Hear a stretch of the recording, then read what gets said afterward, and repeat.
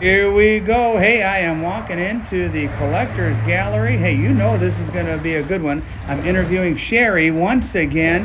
Hit that like button if you're new, subscribe, and hey, while you're at it, be sure to hit that notification bell. Enjoy. T.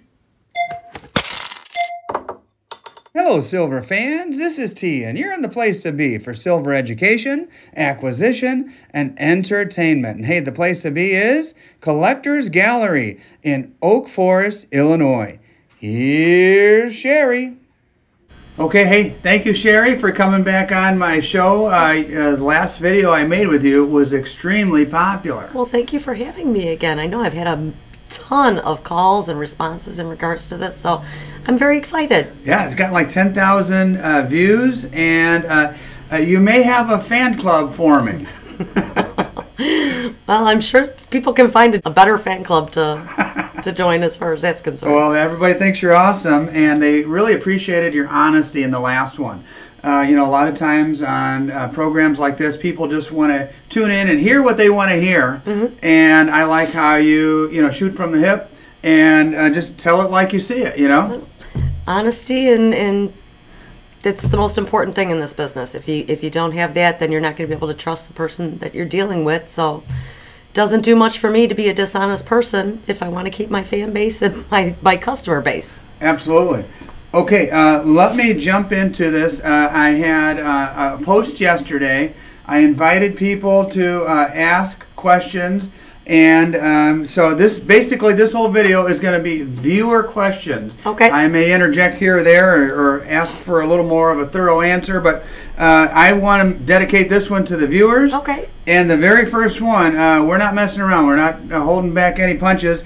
Mutant Skipper asked a question and he prefaced it by serious question. He wants to know and some people in the comment section didn't even think I would ask this. They okay. think they thought I was just going to throw a bunch of softballs at you. Okay. But let me ask you straight up, why should people support an LCS? I've got a bunch of my own answers, but from your mouth, why do you think people should support their local coin shop?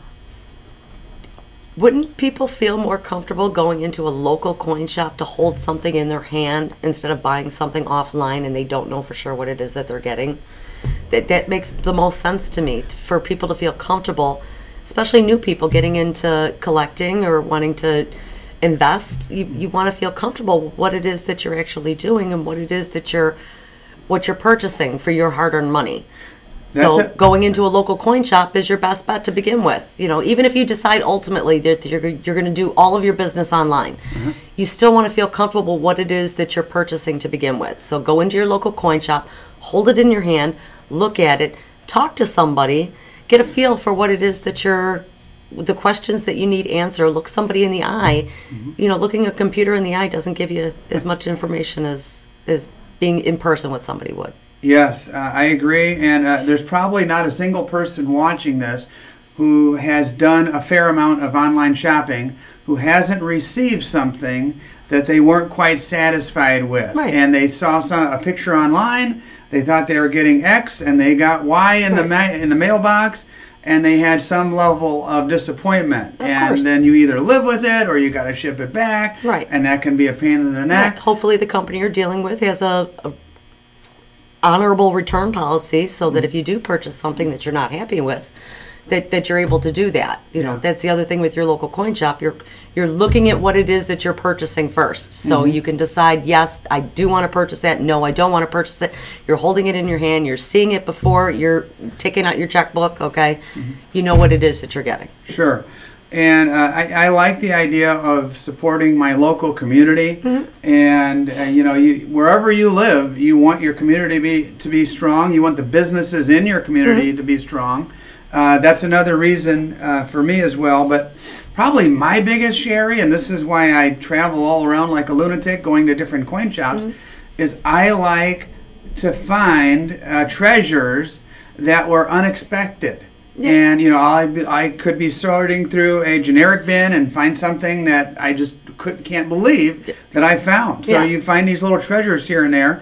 Uh, online, you see what you get, and you know that's that's basically it. It's just what's there available. No surprises. No, that's why I love doing what I do. I never know what's going to walk in the door. I'm surprised by something. I, I learn new information every single day. There's always something new to be learned, and especially when you're in a live environment. Okay, Yeah. when you're on the computer. I'm not bashing computer sales. I, I don't don't get me wrong. I'm not bashing that. Yeah. You could save a buck, you know, going online. That's true. But Sure. uh, I guess another thing for me is I like the culture of a coin shop. I like walking in. I like talking coins and bullion. Uh, I like listening to other people's conversation. Yep. It's just fun. So I guess for me, there's a little bit of a entertainment value. It's not, it's more than just a just a business transaction. It's uh, you know something that I really enjoy doing. Me All too. right. I, yeah. Well, uh, hopefully, Mutant Skipper is uh, satisfied with that response. hopefully. Uh, how about this one from JT Money?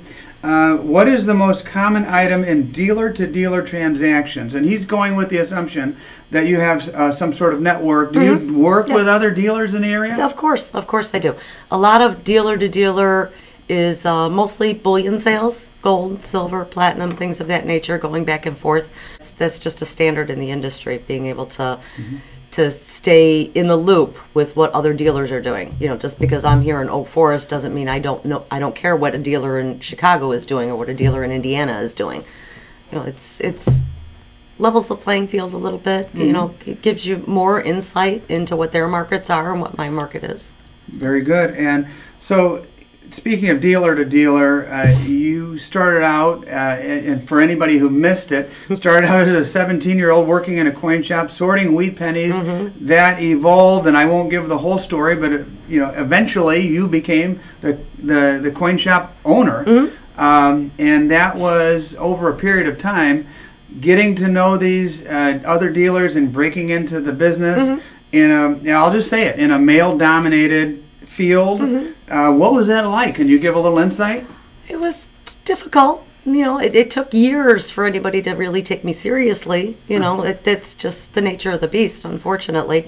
And to this day, I still have men that come in that feel that, oh, it's a woman. Uh, I used to have, you know, men who worked for me, especially an older gentleman who worked for me.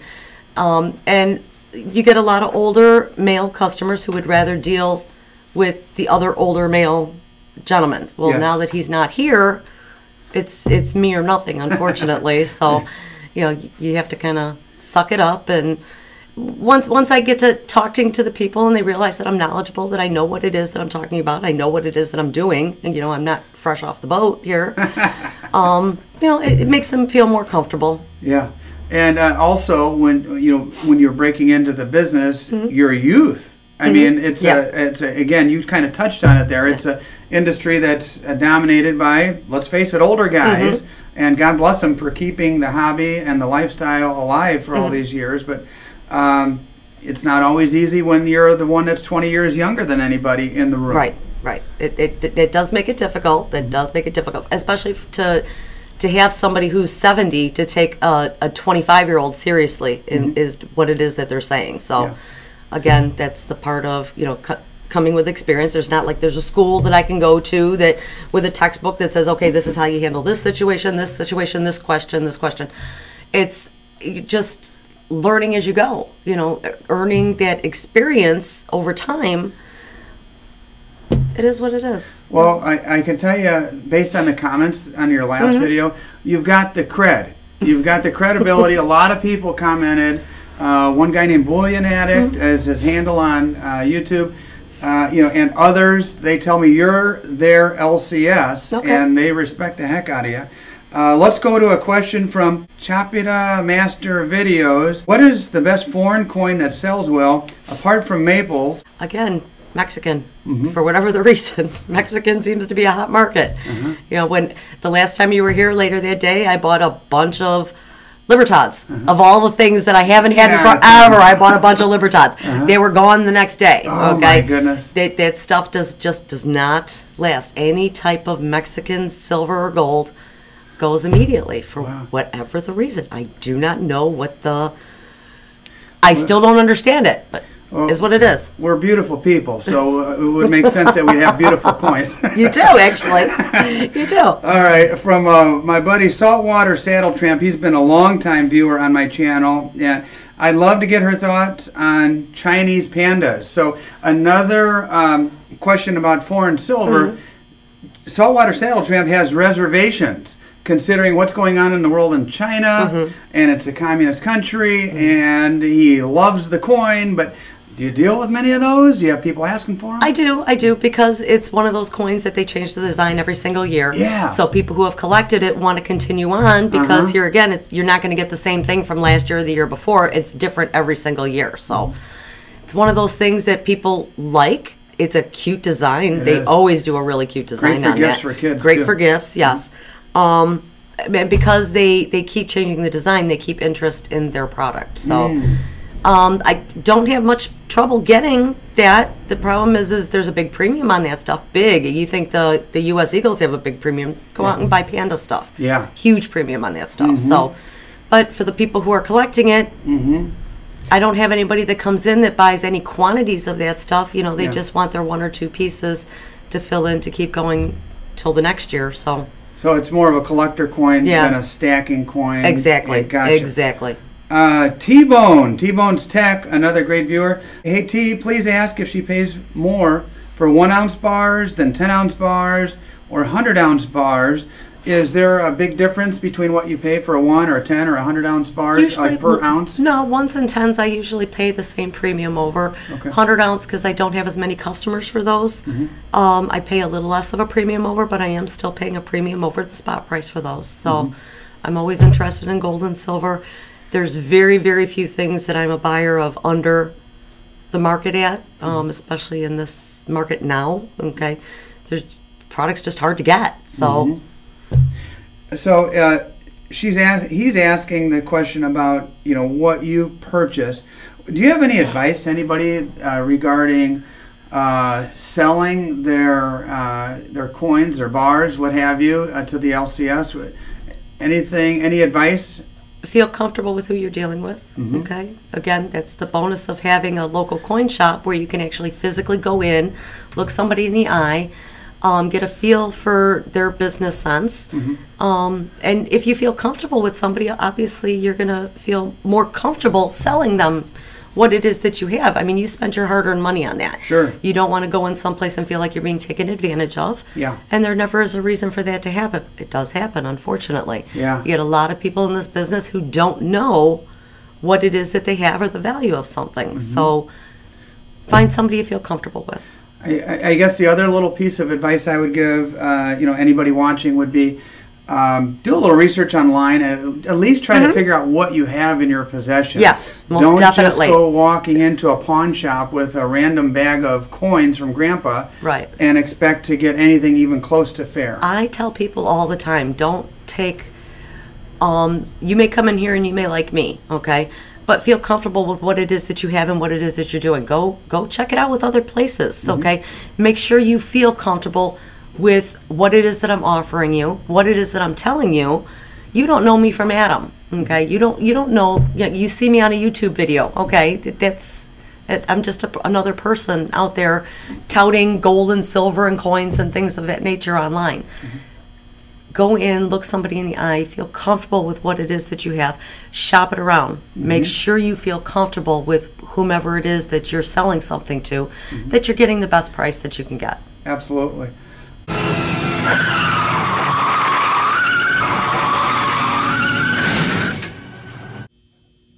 Okay, guys, hey, this is the uh, part of the video where I show you what I purchased.